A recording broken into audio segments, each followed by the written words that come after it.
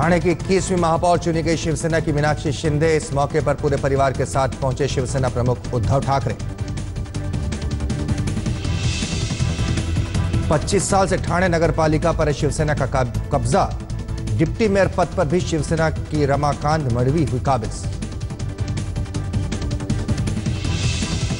पारदर्शिता के मुद्दे पर शिवसेना ने बीजेपी को दी नसीहत का सीएम अपने मंत्रिमंडल से करें इसकी शुरुआत।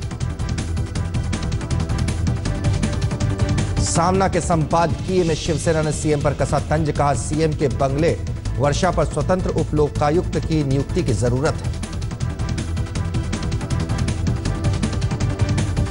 बजट सत्र का पहला दिन, राज्यपाल के अभिभाषण के दौरान किसानों की आत्महत्या के मसले पर विपक्ष का हंगामा। आर्मी जवानों की पत्नियों को लेकर दिए बीजेपी समर्थित एमएलसी प्रशांत परिचारक के आपत्तिजनक बयान को लेकर विपक्ष का हंगामा। विपक्ष के साथ शिवसेना ने भी की परिचारक के निष्कासन की मांग। करण जौहर के सरोगेसी से बाप बनने पर अबू आजमी को परेशानी, पूछा, गोद क्यों नहीं लिए बच्चे? चार महीने बाद भायाखला जू में अपने नए बने ठिकाने पर शिफ्ट की गई हैम्बोल्ट पेंगुइन और जनता उन्हें कब से देख सकेगी इस पर बीएमसी की तरफ़ से कोई बयान? नहीं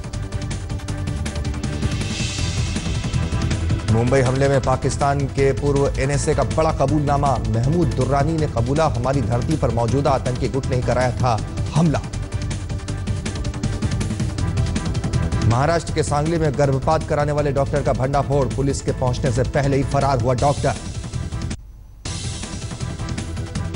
धारावी में एक बिल्डिंग में आग लगने से पूरे इलाके में फैला धुआँ, फायर ब्रिगेड के चार इंजन ने आग पर पाया काबू।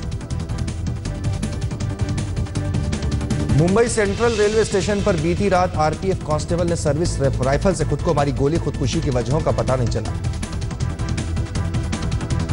बारहवीं का मराठी का पेपर लीक होने के मामले में दो को पुलिस कस्टडी में भेजा गया। पुलिस के मुताबिक मुंबई के प्राइवेट कोचिंग क्लास से जुड़े नज़र आ रहे हैं तार।